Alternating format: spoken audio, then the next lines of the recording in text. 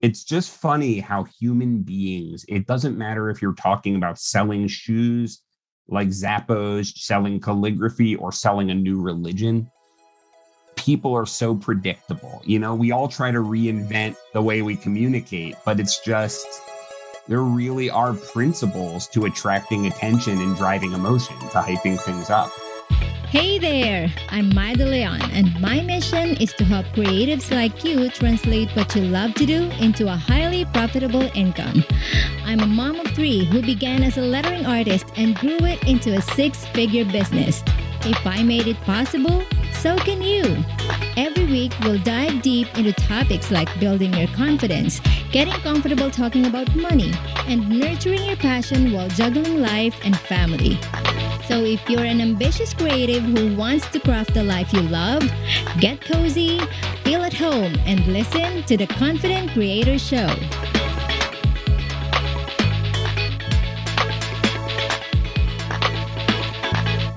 Michael F. Schein is the founder and president of Microfame Media, a marketing agency that specializes in making idea based companies famous in their fields. Some of his clients include eBay, Magento, University of Pennsylvania, LinkedIn, Citrix, and many others. His writing has appeared in Fortune, Forbes, Psychology Today, and Huffington Post. And he is a speaker for international audience spanning from northeastern United States to the southeastern coast of China. And he is the author of the book, The Hype Handbook 12 Indispensable Success Secrets from the World's Greatest Propagandists, Self Promoters, Cult Leaders, Mischief Makers, and Boundary Breakers.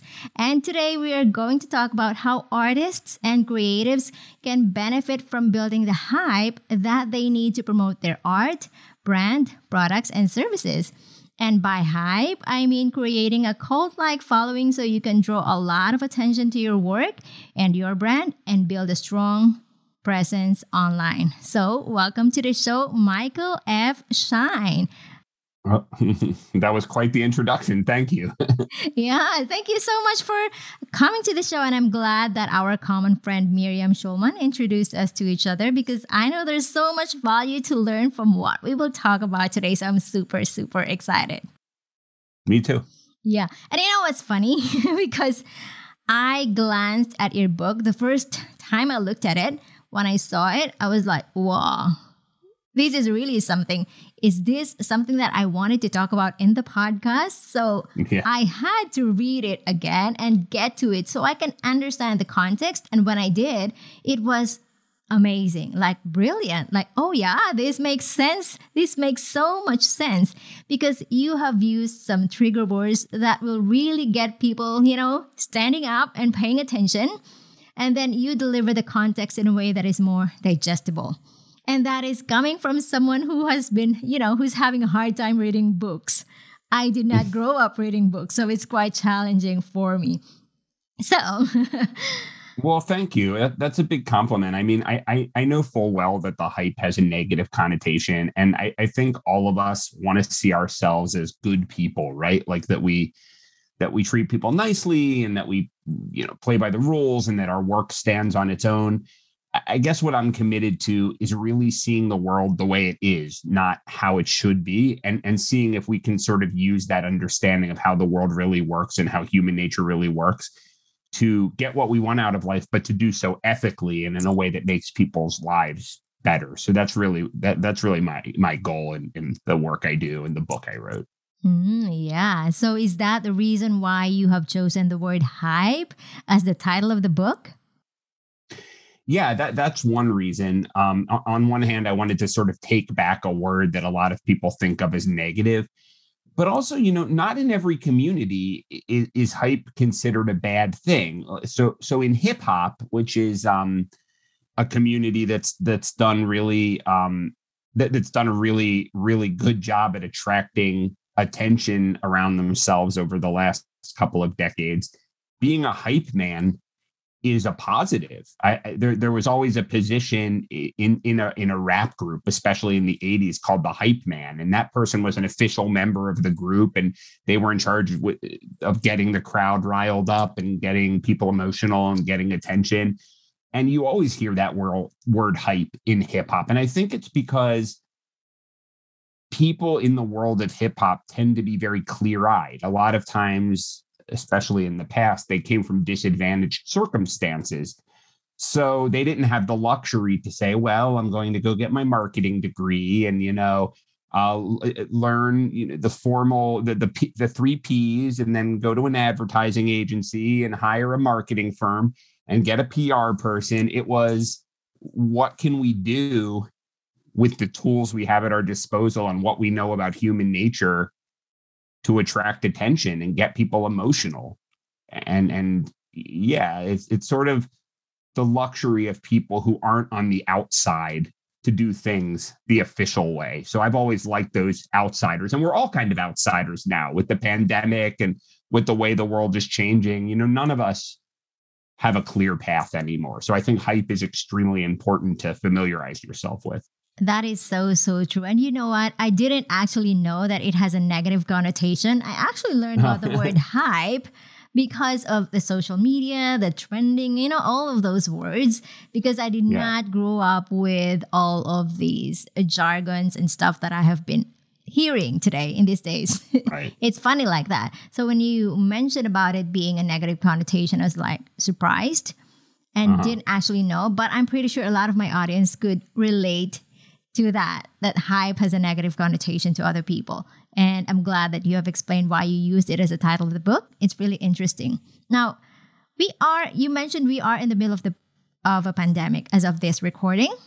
So why do you think why do you think mastering hype is especially you know for artists and creatives can be useful in this current historical moment? So and I I feel like we many of us especially people my age 43 years old around my age grew up we were the last generation to to have this feeling that if you did the right thing and played by the rules you could at least get a pretty good job. Um, and if you were an artist you know, it's funny. I'm more interested in artists than I am in business people, even though I own an agency because I, I, I, you know, I write fiction. I used to play in bands, and I, I got a lot of my tactics from artists, people like Andy Warhol and and you know things like that. And I think that the art world has become so market oriented recently that people are treating art like a business. They're they're okay, you've got to go to the right galleries and get noticed by the right agent and move up the ranks and then you can be Jeff Koons or whatever. And I think that all of those certainties are breaking down. The pandemic is just one piece of it. That was the biggest shock after years of warnings that that we that we've had so far. But you know there's climate crisis there's artificial intelligence. We're in a time of great transition. Things are really changing a lot. So if you're planning to follow the rules and just do things the normal way and learn internet marketing and social media marketing and landing pages and think that you're going to uh, just get an audience for your art or your business or whatever maybe you will. But you see what happens when you have firm plans. A pandemic can happen. And i think change like that is going to be the norm not not the exception. So i think we have to get uh, above all this thing that i'm calling hype the people that i talk about in the book everyone from artists like andy warhol who were really iconoclastic to really bad people like cult leaders and propaganda artists to really good people like um or or at least people who contribute to society, like Richard Branson or Martin Luther King, what they all have in common is that they're extremely flexible. They look at the raw material of the world around them, and instead of complaining about it, they say, How can we turn all of these obstacles into opportunities to get attention? How do we turn our weaknesses into strengths? So I think if you're not if you're constantly saying to yourself it shouldn't be this way then you're at a disadvantage because the world is how it is. So you can either accept it or or be sad that things aren't as perfect as you'd like them to be That is so so true. And I think I think you mentioned a very important detail and something that I wanted to highlight. You mentioned turning obstacles into opportunities. And especially these days, we are in the middle of a pandemic and a lot of people are complaining being cooped up right. at home. Whereas, you know, we still there's still a lot of things to be thank- thankful for. We have the internet, we have Netflix, we have everything. We can still make money online Remember, I don't know, during the old times when people have been hit by what the Spanish flu and all of those other nasty stuff. Yeah, you were out of work. You know? Yeah, yeah they they don't have what we have right now, so there's still a lot of uh, things to be th- uh, thankful for.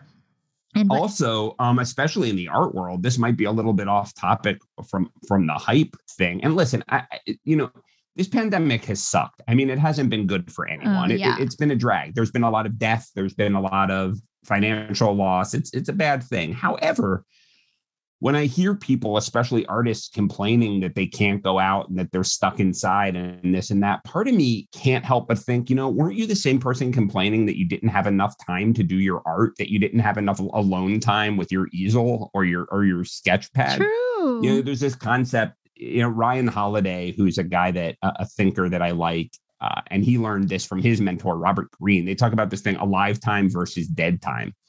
And, and I didn't come up with this, obviously, but the idea is that even let's say, you know, let's say you're in prison or you're stuck inside with a pandemic, you can make that dead time. You can just bemoan your fate and let that time pass.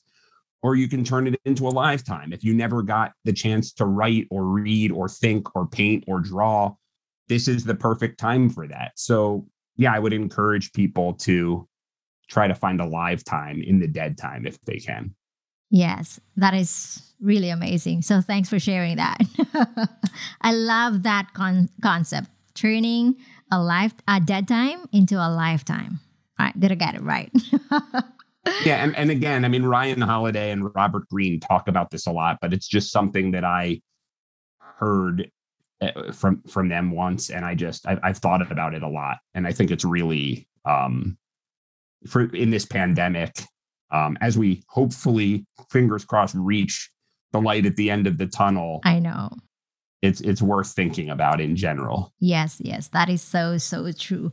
And this is the time to be reflecting on a lot of things instead of just complaining and doing actually putting everything in action thinking of different strategies and how you can make the most out, out of it all because if you're listening to this podcast, you're still considered lucky, right? Not all of us. At the same yeah. time, at the same time, I don't want to minimize how hard this has yes, been. Yes, we know? are not minimizing it. We're just yeah, talking I mean, about yeah, how there are still exactly. opportunities in the middle of this chaos. Right, exactly. Yeah. Okay. So we moved away from the book a little bit. So let's go back to your book. Let's go back to your book. I want to talk about the book because it's really amazing and it's interesting. And if our Thank listeners you. could only use, I know there are 12 hype strategies in the book. So you guys, you have to really get the book so that you can learn of the, all these 12 strategies. If they can use they can use one, just one or maybe two hive strategies in the in the book. Which one or which two of them will you uh, recommend them to use, and why?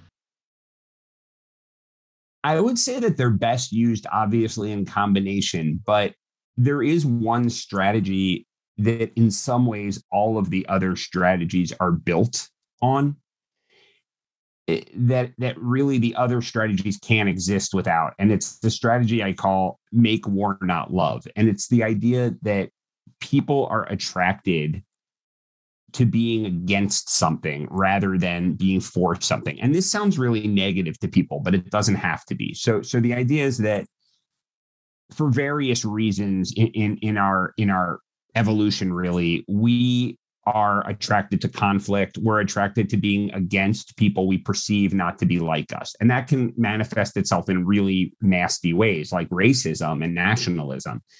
But it can also manifest itself as being against an idea or set of ideas. And we see that a lot in art, right? Like what, what characterizes art?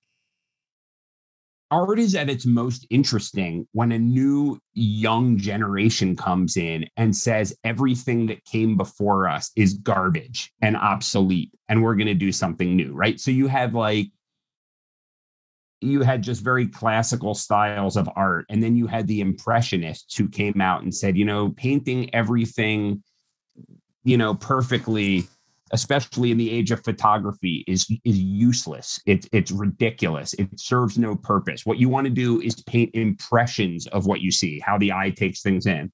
And that was considered crazy. Like, what is that? That was so revolutionary. And and yet those people constantly hammered at the old generation. And as a result the people who loved impressionism loved impressionism. It was this cult this clan you know the, the dealers who were for impressionism just spread the word by and large. And then those people got old. And i'm going to get the order wrong. Uh, and but you know at a certain point eh, the cubists came out and they said painting things that are real life is useless we just went through world war one and you're going to paint beautiful pictures of cafes that's horrible that's ridiculous right and then that those people got old. And then the abstract expressionists at one point came out and they were so revolutionary, splattering paint on canvases. And then at a certain point, they were the establishment. Andy Warhol came out and he was painting, he kind of came full circle. He was painting lifelike renditions of soup cans and talking about how the abstract expressionists, they suddenly they looked obsolete and old. And each of these movements had um, really diehard followers. And from what I know about visual art, I'm not a visual artist, but I'm interested in it. Again, with the market of art, people are out there doing great art, but they're just sort of doing versions of, of, of what happened in the past. And some, some of it's really offensive, you know, and in a good way, you know, they, they, they paint or, or, or I don't know about a good way, but they, it's not that the art is safe. I mean, I go into places, there's all kinds of grotesque figures and, you know, um, genitalia and whatever else they're painting, right? But it's not shocking anyone because they don't stand against anything. They're just painting versions of what's come before. Mm-hmm. People did that stuff in the 50s with different media. So I think it's really important to say, I'm going to draw a line in the sand. Not so much this is what I'm doing and this is why my stuff is great, but this is what I'm against. It's like kill your idols. This is why everything that came before me is obsolete and ridiculous. And nothing attracts people like that. That is extremely powerful, especially in art, but really in any field. Yes, true. And art is ever developing, right? It is right. like it's similar. There was actually you mentioned about uh, the old art and then the new art because there has been a discussion I think years ago about calligraphy and then the modern calligraphy because the the, right. uh, the old calligraphy style you know has a certain distinct um, style that right. is that must be followed. There are certain rules that must be followed and uh, those who are aspiring to be calligraphers must not deviate from those rules. But then there's the modern calligraphy and then there was a heated debate about uh, modern calligraphy not being the real calligraphy and all of that stuff. But art is ever evolving and it's changing and we are adapting to it. So all of these stuff are yes, might might have changed from long and years ago, but it's still art right? It doesn't mean that they're but, but that's, no longer art. But that's even better. Not to interrupt, but I love what you're saying because I feel like this calligraphy thing. I, I'd love to hear from you are these new calligraphers attracting attention? Because I know in visual art, like on the New York scene, my impression, and you can correct me if I'm wrong, is that, yeah, people are doing art and it's fine, but it just comes across as a little bit boring and a little bit flat because people are just doing art. They're not taking a stand against anything. Yeah. It sounds like these new calligraphers are. So, how has that played out? Have these new calligraphers attracted a lot of attention? Well, yeah, that is why modern calligraphy is has become a big thing because people think they're fun and something new to do. You mean exactly? I mean, diverting from the old strategy, the old style of doing calligraphy and doing more like um, the bounces, all those. They don't have those. I don't know if they have those because I didn't know calligraphy. I know hand lettering, but those bounces, it makes it more fun and exciting to look at calligraphy in such a different way. And it's really exciting. And then there's the, what, what do you call that? The acrylic pour these days. so you have abstract, And then there's the acrylic pour where, where you'll just, you know, get a canvas and then pour different colors of acrylic and form an artwork from that. And that is like how art has evolved really in all those years, right? It's very exciting. And it sounds like these new calligraphers are really practicing excellent hype mm-hmm. in a way mm-hmm. that some other artists are not. It did. It did really get hyped for, you know, right. quite this last couple of years. And so these days, modern calligraphy courses has been one of the most um, trending courses online. And people are buying those courses because they wanted to learn it. So it's an interesting. It, it's just funny how human beings, it doesn't matter if you're talking about selling shoes like Zappos, selling calligraphy, or selling a new religion. Mm-hmm. People are so predictable. You know, we all try to reinvent the way we communicate, but it's just there really are principles to attracting attention and driving emotion, to hyping things up. Yes, yes, that is so, so true. Oh my goodness. And you also mentioned about having, I read in the book, you mentioned about having a common enemy, right? Yeah, this this is exactly what I'm talking yes, about, right? It's like the old calligraphers or the common enemy, right? Yes. Yeah. And that is how you build the cult like following. When you right. have that army of people who are backing you up and who believes in your ideals, like, yeah, I want calligraphy, but I want this modern calligraphy as opposed to the old calligraphy. Well, to the calligraphers out there, we are not trying to minimize uh, whatever it is that you're doing. We're just setting an example. So don't take offense, really. Okay, let's be objective out here.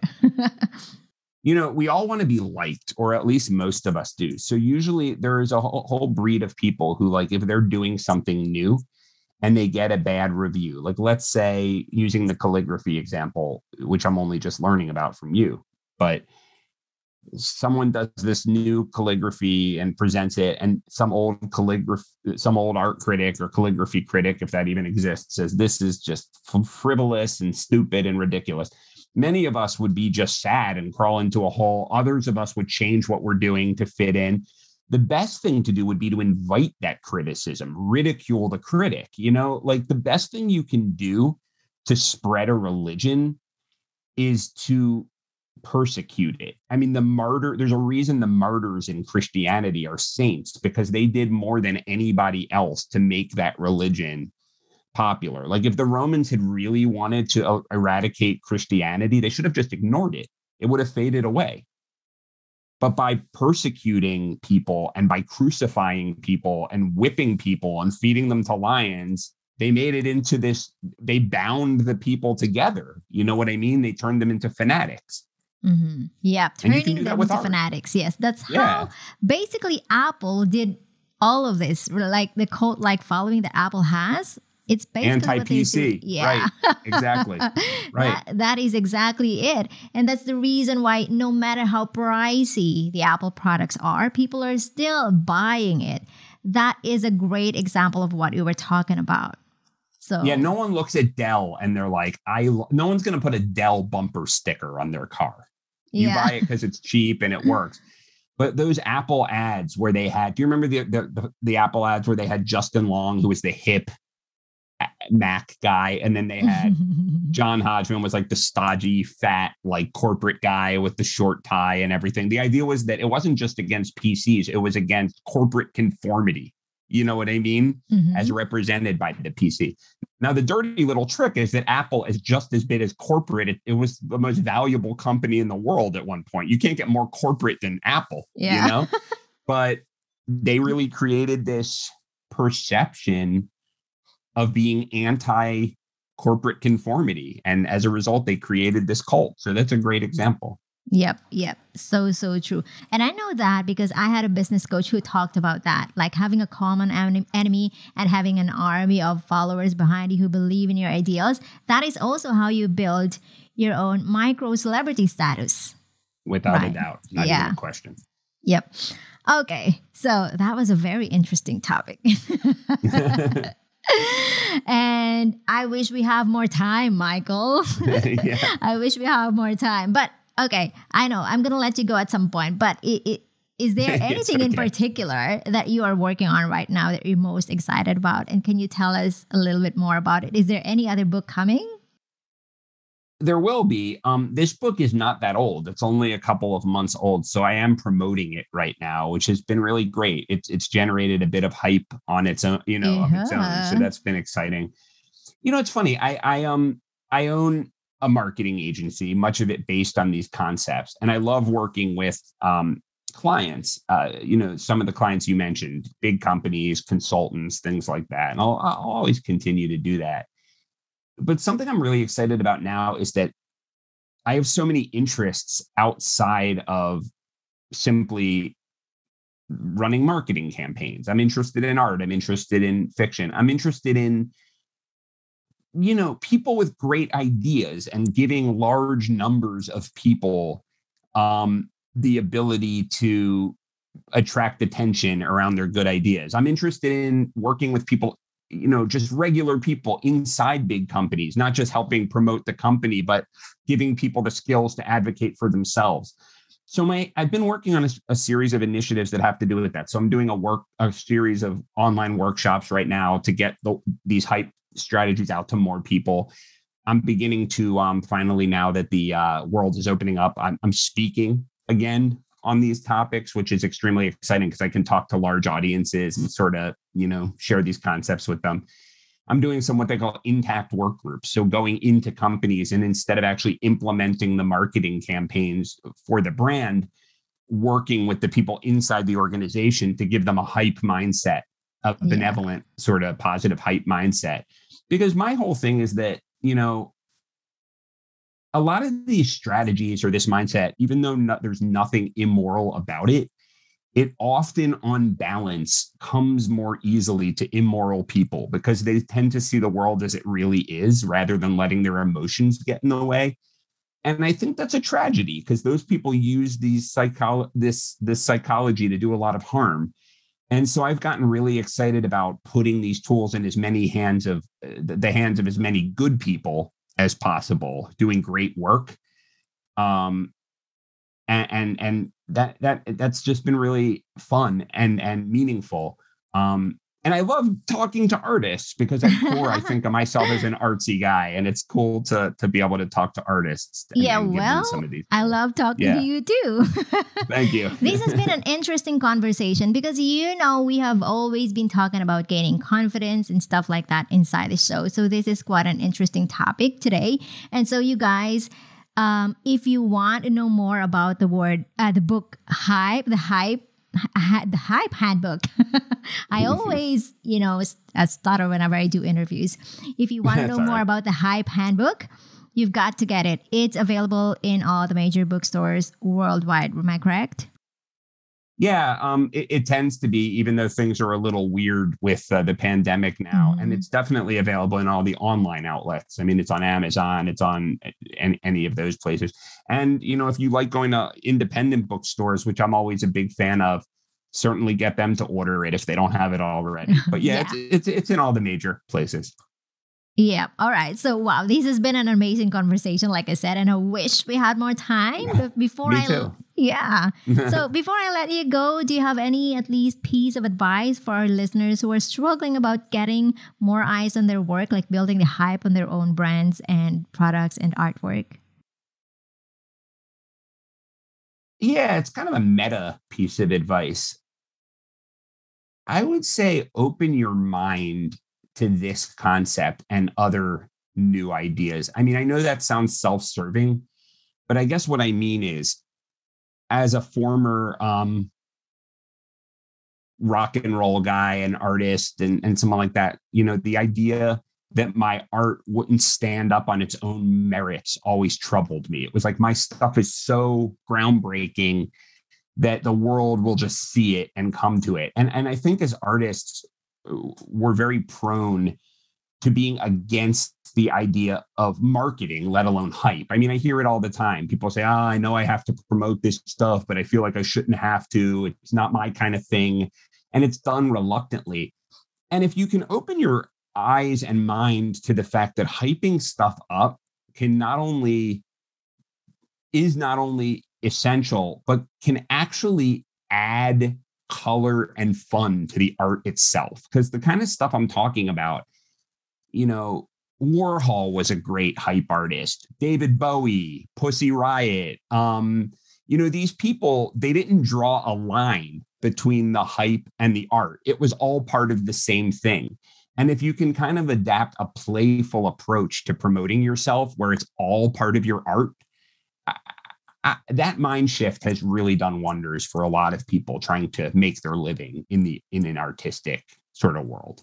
Yeah, that's that is brilliant. Okay. And like I said earlier, people might be shocked because my type of audience might be new to the words that you have um, you have in the book, especially the trigger words that a lot of people will, you know, frown upon immediately. Sure. But you have to actually read and get those the concept and apply it as to how it's you know, it will become useful, more useful to building the hype that you need for your products, your art, your services, and your brand. Because most of the time, it is on those concepts that we will learn a lot about how we can, you know, use this stuff into our marketing. Like, there are different applications and there are different ways to say things and what we want to tell people. But ultimately, you can use all of those things and make it applicable how can you turn that and make it applicable to your own brand your own business your own marketing strategy you can definitely definitely use those because i know that because i have done those some of those myself okay so you guys get Mike's book. It's called The Hype Handbook and it's available worldwide. All right. So, once again, where can our listeners find you, Michael, if uh, and your company and yeah, any other links that we need to know about? Yeah, I mean, the the I'll, there are a lot of you know microfamemedia.com is my company. My um website is michaelfschein.com spelled s-c-h-e-i-n but but the link i usually give to people so i have this um thing i do which i, I really enjoy called uh the hype book club. So i read a lot of books that are not your typical sales and marketing books because I didn't want to learn from, you know, I read all the marketing books, but uh, I wanted to learn from the people who didn't consider themselves marketers, as obviously the hype artists, as I call them. So I read all kinds of like biographies of very unusual people and see what lessons I can get out of them, mass psychology books. And the ones that are both the most helpful but also the most fun to read, I I uh, every so often I send out recommendations with descriptions um, to something called the Hype Book Club. And it's it's you know, it's free, of course. And it's um hypereads.com. And if you go there, not only will you get those recommendations, but it's really it's become a community. So if you email me back to something I write, if you email me to some in response to something I've written, I'll absolutely email you back. A lot of people have back and forth conversations with me. So yeah, really that's the best way to keep in touch with me. Hypereads.com. All right. So hypereads.com. And if you didn't cup, catch up on all those links, they will be in the show notes for sure. Just head over to myedeleon.com slash Michael F. Schein and you will find everything you need. All right. And thank you so much, Michael, for being on the show today. Well, thank you. Oh, I should also say because no one gets this right. Schein is not spelled like shine. It's S C H E I N. So uh, that that confuses a lot of people. I don't want to, you know, I don't want to see you guys get lost out there. Yes, and that is why I asked for the pronunciation. How do I pronounce your surname? So that everyone I... says Sheen. It's like, uh, is there a Mr. Sheen there? You know, very common. so I'm glad to know that I pronounced it right because I asked. You did. Good job. nice work.